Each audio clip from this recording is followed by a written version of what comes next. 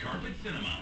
I wish everything could be like it used to be. All of us friends. I was pretty drunk last night. Did anything happen? No, absolutely nothing. He needs less. Uh-oh. Sex patrol. I'm pregnant. Can you pass the turnips? The Brat Pack triple feature continues next with About Last Night, right here on Ovation.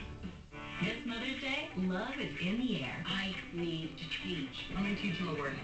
Therapist. And these ladies aren't afraid to ask for seconds. I've never seen a dance that looks like that. Stick around. Uh-oh. The Leading Ladies of Love Marathon, Sunday starting at 3 on Artists and Icons.